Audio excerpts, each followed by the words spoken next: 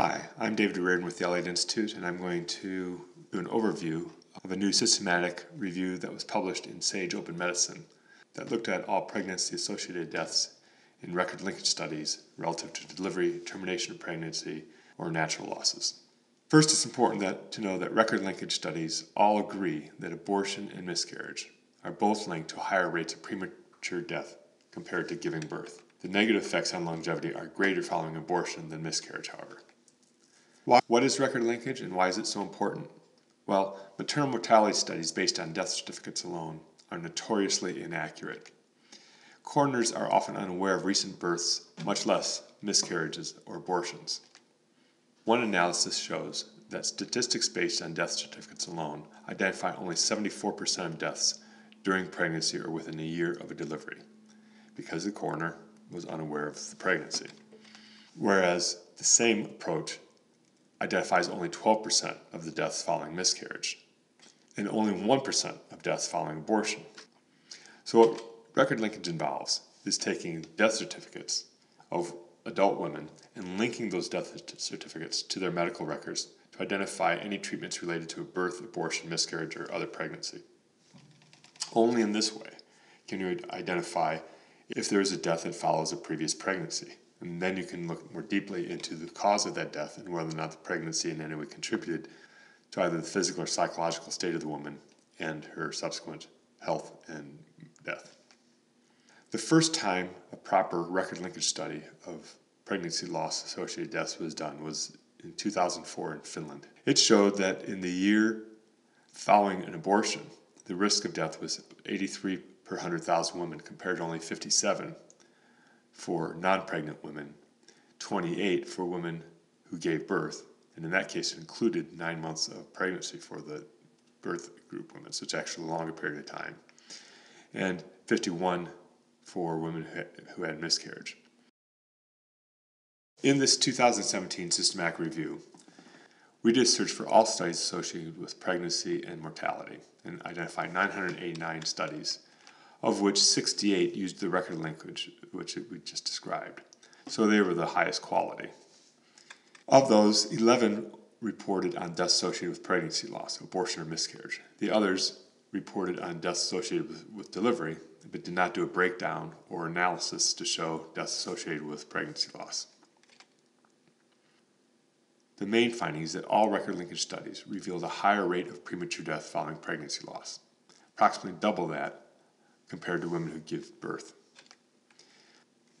While miscarriage was associated with higher risk of death compared to birth, the impact of abortion was greater. The elevated risk is evident within the first 180 days and persists for at least 10 years, as you can see in this chart. There's also a dose effect. Each pregnancy loss increases the risk of premature death. As you'll see in this chart, the increased risk is about 50% for one abortion, over double for two abortions, and nearly three times more for women who had three or more abortions.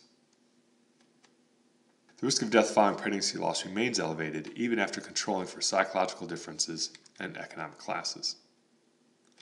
The greatest increase is in deaths due to unnatural causes such as suicides and accidents. As you can see in this graph, the risk of death and suicides in the first year following pregnancy was approximately six times greater suicide following a birth. It's also about three and a half times greater than the risk of, of suicide for women who had not been pregnant in the prior year. Similar differences were also identified relative to accidents. These may indicate that deaths which were identified as accidents may actually have been due to suicide or at least risk taking behavior. To investigate these connections, a researcher in uh, the United Kingdom uh, examined records of a population of 408,000 women to identify suicide attempts, actually completed suicides, which allowed them to look back at uh, records prior to pregnancy and uh, after pregnancy. They identified that the rate of attempted suicide before an abortion was significantly lower than the rate of attempted suicide after an abortion. While the greatest risk was associated with deaths from suicide and accidents. There's also an increase in death from natural causes, most specifically circulatory disease was identified in a study in California as uh, increased risk of death over an eight year period. These and other stress related diseases are more evident when the results are tracked for a period beyond one year because the stress, of course, takes time to have major impact on women's health. These findings are consistent with research that shows that abortion and pregnancy loss may contribute to a general decline in good health. Based on healthcare sought before and after an abortion, on average, there's an 80% increase in doctor visits and 180% increased risk in doctor visits for psychosocial reasons. Women's health is obviously dependent not only on physical effects, but also the psychosocial effects which impact the physical effects later on. So, behavioral problems which are associated with abortion may also cause problems. For example, nearly every study that has examined substance abuse uh, relative to pregnancy loss shows that uh, abortion is associated with increased risk of substance use. It's also associated with higher eating disorders mental, and other mental health problems. In a survey of women who were seeking post abortion counseling, they reported that they thought more often of death, had a foreshortened sense of future, were less concerned about protecting their health, and engaged in increased risk taking behavior. 77% had feelings of self hatred, 55% reported suicidal feelings, 37% reported themselves as self destructive, 28% attempted suicide, with half of those attempting suicide more than once. In this new systematic review, we also did a uh, meta analysis, which is the combining of results from both Finland and Denmark, two of the countries in which uh, a lot of this data came from. Uh, and it showed that the risk of death uh, after abortion was 2, 2.7 times greater than the risk of death following a birth overall, compared to a 1.8 increased risk of death following miscarriage compared to birth. When the results of these various studies are projected on the national population in the United States, the effect of elevated mortality rates after abortion may contribute to anywhere between 2,000 and 7,000 more deaths among women each year. What can be done? Well, first we need to do better research. We need to improve data collection and undertake more analyses so that we can better identify the subpopulations of women who are at greatest risk. One way this could be done is to use the fetal death certificates in New York, which have never been linked with the death certificates and kind of analysis that we are talking about here. But ever since the early 1970s, New York has been recording fetal death certificates for both abortion and miscarriage.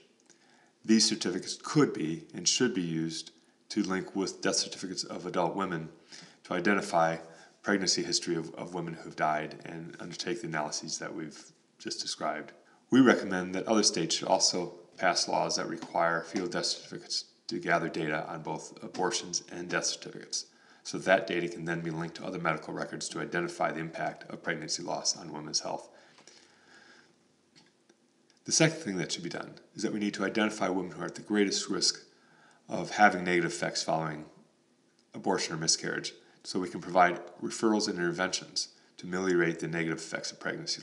This can be done by using the 15 risk factors identified by the American Psychological Association's Task Force on Mental Health and Abortion to identify those groups of women who are, face more psychological problems after abortion. Many of these same factors would also apply to miscarriage, or other natural losses. We believe that doctors should be alert to the fact that the history of pregnancy loss may impact many aspects of a woman's life, and that prior pregnancy losses, voluntary or involuntary, are sensitive issues for many women, which they may be hesitant to discuss. Therefore, we highly recommend that as a standard intake question or in periodic updating of patients, doctors should make a gentle, non judgmental query Have you had any pregnancy losses, like miscarriage or abortion or neonatal death. This kind of question, which non judgmentally names each type of pregnancy loss, gives women permission to discuss any sensitive feelings regarding past pregnancy losses, and also opens up opportunities to discuss any lingering concerns when women do report a prior pregnancy loss, or for women considering a termination of pregnancy. We recommend that the clinician should then use the 15 risk factors identified by the APA to help identify the women who are at greatest risk of problems. They may most benefit from it from additional counseling or other services. Given the dose effects observed, screening for history of pregnancy loss is especially important in preparing treatment plans for women in all subsequent pregnancies.